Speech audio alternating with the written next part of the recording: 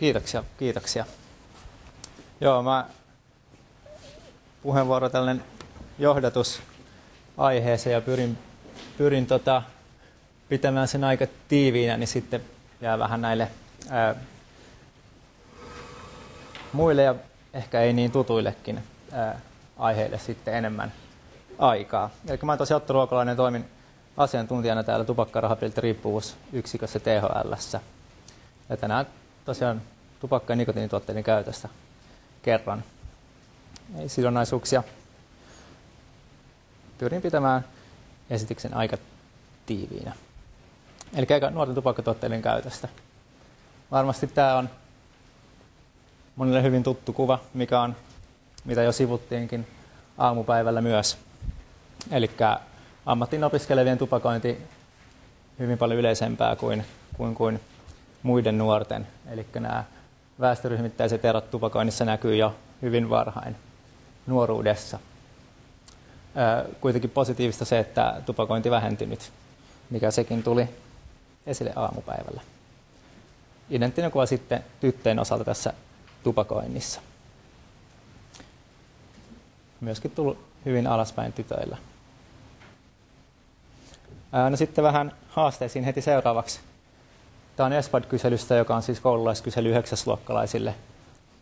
Siinä on kaksi nuuskan indikaattoria, eli käyttänyt viimeisen vuoden aikana ja käyttänyt viimeisen 30 päivän aikana tytöt ja pojat. Katsotaan tätä tummempaa sinistä ja tummempaa vihreätä, niin nähdään, että viimeisen vuoden aikainen nuuskan käyttö on yleistynyt tuosta 2007 eteenpäin aika paljonkin. Sitten taas vaaleampi sininen ja vaaleampi vihreä, niin on tämä viimeisen kuukauden aikainen käyttö, niin huomataan, että sekin on sekä tytöissä että, että pojissa varsinkin niin yleistynyt. Ja jos katsoo tuota, vaalean sinistä viivaa, niin nähdään, että, että 2015 pojista yli joka viides oli sitten viimeisen kuukauden aikana kokeillut nuuskaa ja vuoden aikainen kokeilu oli sitten sitäkin yleisempää, eli lähes 40 prosenttia pojilla. No sitten nuuskan päivittäistä käyttöä oppilaitoksittain katsottuna, niin havaitaan sama ilmiö, että on yleistynyt selvästi tässä viimeisen viiden, kuuden vuoden aikana. Erityisesti näissä ammatillisissa oppilaitoksissa 5 prosentissa tuohon 13 prosenttia, aika huima, huima muutos siinä viime vuosina. Mutta myös lukion pojilla, jotka niin kuin muiden indikaattoreiden mukaan, muiden indikaattoreiden mukaan sitten ää, elää hyvin paljon terveellisemmin kuin amispojat, niin tässä nuuskassa ei kuitenkaan ole sitten ihan niin paljon eroa. 2015, 4 prosenttiyksikköä verrattuna, jos ajatellaan savukkeiden polttoa, jos en ihan väärin muista, niin ammatti opiskeli vielä 36 prosenttia ja, ja, ja lukio, lukiossa vielä 8 prosenttia, että, että se nuuskassa ne erot ei, ei ole niin, suuret kuin savukkeiden poltossa. No sitten sähkösavukkeiden käyttöön. Nuorten terveystapatutkimuksen mukaan katsotaan 2013 versus 2015, niin havaitaan, kokeilu on yleistynyt huomattavasti kaikissa näissä ryhmissä 16-18-vuotiaissa poissa ja tytöissä. Vanhemmilla vähän yleisempää, mutta, mutta myös 16-vuotiaat kyllä hyvin, hyvin yleisesti kokeillut näitä, näitä tuotteita. Sitten kun useasti yhtenä argumentaationa sähkösavukkeiden osalta on se, että, että, että ne on tullut nyt markkinoille, että ne, jotka muuten kokeilis savukkeita, niin nyt kokeilee sähkösavukkeita, joka on sitten ajatella, että terveyden kannalta parempi. Mutta jos katsotaan samana aikana tupakkaa kokeileiden osuus on laskenut ainoastaan 4 prosenttiyksikköä. Eli ei voida sanoa, että samat nuoret olisi olis sitten tota, kokeilleet sähkösavukkeita, jotka olisi kokeillut savukkeita. se on paljon suurempi se ero, mitä havaitaan sähkösavukkeiden kokeilussa, kuin siitä, että mitä savukkeiden kokeilu on vähentynyt. Ikäryhmät ei ollut ihan yksi yhteen, mutta toi antaa, antaa kyllä aika, aika hyvän kuvan siitä, että ei ole pelkästään siitä, että sähkösavukkeet jotenkin korvaisi savukkeet. Siinä oli äsken kokeilu, sähkösavukkeiden kokeilu.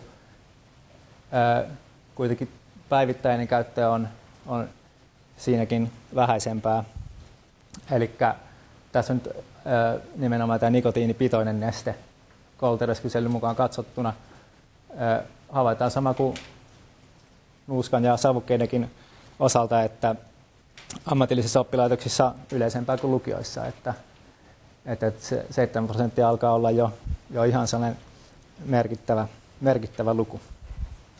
Tässä ei ole vielä mitään, mitään trendiä tai toista mittauspistettä, miten, missä nähtäisiin, että miten tämä on muuttunut, mutta että niitä tietoja kyllä tulevaisuudessa saadaan ja odotetaankin aika innolla.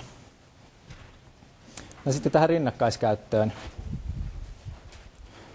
Siinä on aika paljon erilaisia viivoja, mistä ei tarvitse saada niin tarkkaa edes selvää. Voidaan keskittyä noihin yle, ylimpiin viivoihin, eli vaalean liila ja vaalean sininen yläkoululla ja lukiolla, mikä näyttää tämän tupakoimatto, tupakoimattomien osuuden, eli havaitaan, että se on siellä 70-80 prosenttia yläkoulu- ja lukion nuorista on tupakoimattomia, eli ei käytä savukkeita tai nuuskaa. Sitten taas ammatillisissa oppilaitoksissa selvästi alempana tämä osuus, eli 50 prosentin paikkeilla. Puolet nuorista siis käyttää jotakin tupakkatuotetta. No sitten samalla jos katsoo tätä vaalean punaista ja vaalean, onko tuo vaalean vihreä sitten, mikä kuvaa sitä, että nuori käyttää pelkästään savukkeita.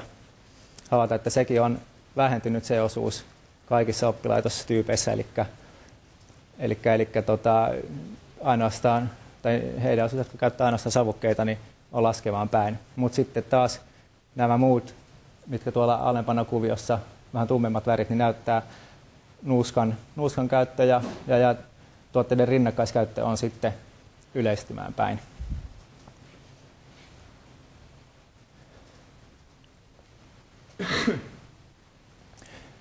Sitten vähän näiden rinnakkaiskäyttöä edelleen katson, eli tässä taulukossa on kuvattu sähkösavuketta joskus vähintään kokeilleet nuoret. Siinä voitaisiin keskittyä tähän ylimpään ja alimpaan riviin. Katsotaan tosiaan sen mukaan, että käyttääkö savukkeita tai nuuskaa nykyään.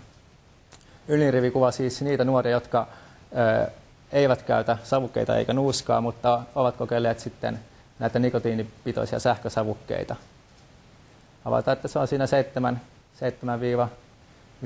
7-15 prosenttia sitten oppilaitostyypistä riippuen, että kuinka paljon näitä, näitä nuoria on.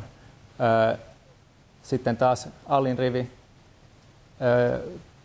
kuvaa niitä nuoria, jotka käyttää sekä savukkeita että nuuskaa ja on myös kokeillut näitä nikotiinipitoisia sähkösavukkeita. Eli se on siitä 65-90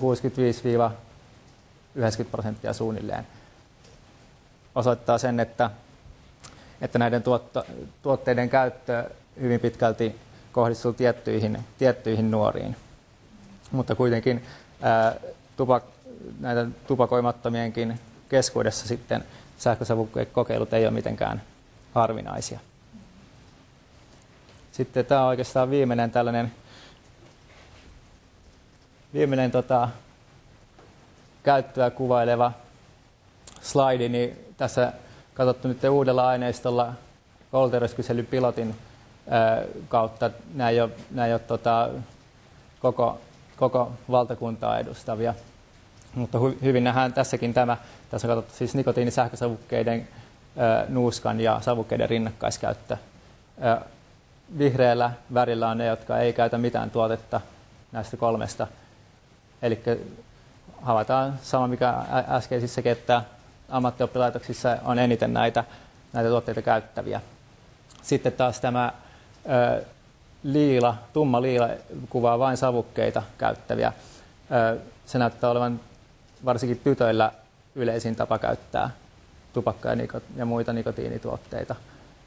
Kuitenkin pojistakin jonkun verran käyttää ainoastaan savukkeita, mutta että tässä ehkä se, se, se tärkein tärkein tota, viesti on, että tämä tupakka- ja nikotiinituotteiden käyttö näyttää, näyttää pirstaloituvan niin eri tuotteiden rinnakkaiskäytöksi hyvin vahvasti kuitenkin. Jos katsotaan vaikka ammattiopiskelevien poikien kuviota, niin vaikka siitä ei nyt saisikaan olisi selvä, että mitä kaikkia eri luokkia siellä on, mutta että kuitenkin vihreän palkin lisäksi niin toinen, toinen palkki, niin se jakautuu hyvin, hyvin moneen eri, eri luokkaan. Eli tämä, tämä niin pirstaloituu tämä, tämä nikotiinituotteiden käyttö nuorilla.